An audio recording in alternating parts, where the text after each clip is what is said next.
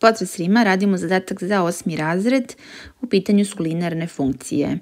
Odredi A element R tako da grafici linearnih funkcija budu paralelni.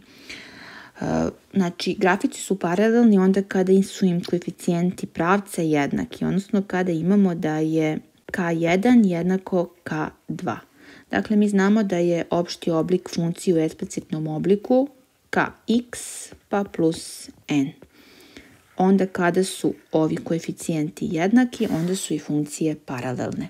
Ajmo da vidimo ove dve funkcije, kad ih posmatramo, vidimo da su obe u ovom obliku već datom, dakle već su u eksplicitnom obliku, pa nam je kao u ovoj prvoj funkciji u stvari ovo sve ispred x-a, a u drugoj će također biti sve ispred ovog drugog x-a. Pa da bi bile paralelne treba da budu jednaki. Pa ćemo samo ovo izjednačiti. Dakle, 2a minus 3 kroz 2 treba da bude jednako sa 4a plus 3 kroz 3. I sad gledamo da se otarasimo ovih razlomačkih crta.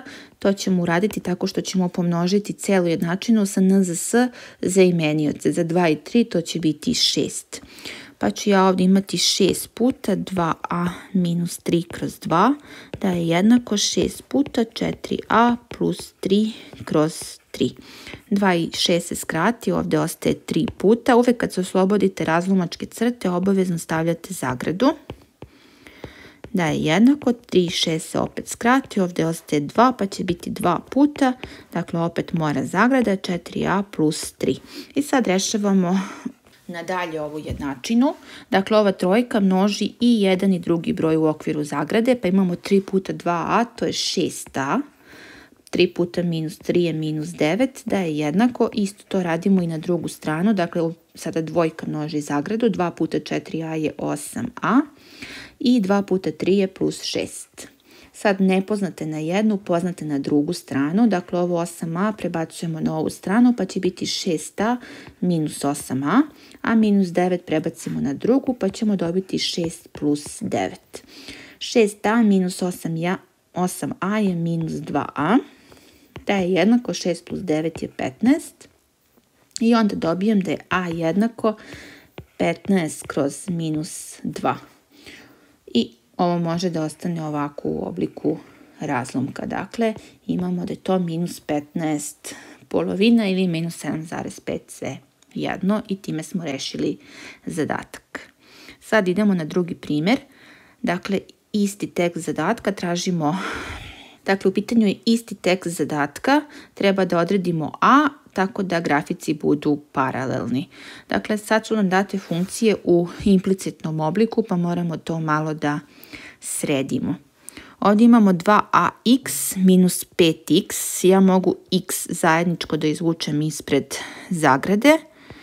U zagradi će mi ostati 2a minus 5. Pa ovdje imam plus 3y minus 2 da je jednako nuli. Ovo 3y treba da ostane na ovu stranu, a sve ostalo na drugu. Pa ćemo pisati 3y je jednako. Kada ovo prebacim na drugu stranu, bit će minus x 2a minus 5 i plus 2. I sad y je jednako. Sad ću ovo zameniti, x ću pisati iza ove zagrade, dakle imamo minus 2a minus 5 pa puta x kroz 3 i ovdje imamo plus 2 kroz 3. I odavde vidimo koliko će nam biti k, Znači k nam je ovo minus u zagradi 2a minus 5 pa kroz 3. Dakle to je k1. Sad gledamo za ovu drugu jednačinu. Ponovo ovdje imamo 2 puta x pa ćemo to izvući ispred zagrade. Dakle izlačimo x. Ovdje nam ostaje. E sad s obzirom da imamo minus ispred x-a vodimo računa, ovdje je bilo sad negativno, onda treba da bude pozitivno, pa će biti samo 2a a ovdje je pozitivno, sad će biti minus i onda će ostati samo 1 da je jednako nuli. Dakle, uvijek kada imate minus ispred, a stavljate zagradu, u zagradi se menja stanje. Dakle, ovaj broj je bio negativan, sad je pozitivan, ovaj je bio pozitivan, sad je negativan. I sad y neka ostane na ovu stranu, sve ostalo ćemo prebaciti na drugu. Ja dobijem da je y jednako, dakle ovo 2a minus 1 puta x. Dakle, odavde vidim da mi je ovo k2 u stvari 2a minus 1. Da bi bile paralelne, onda to treba da je jednako. Pa imamo da je minus u zagradi 2a minus 5 pa kroz 3 jednako 2a minus 1.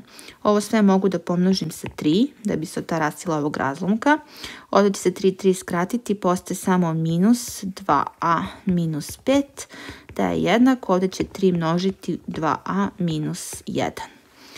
Ako se oslobodim ove zagrade, onda menjam ove znake, pa će biti minus 2a plus 5 je jednako. Ovdje množimo, 3 puta 2 je 6a, 3 puta minus 1 je minus 3.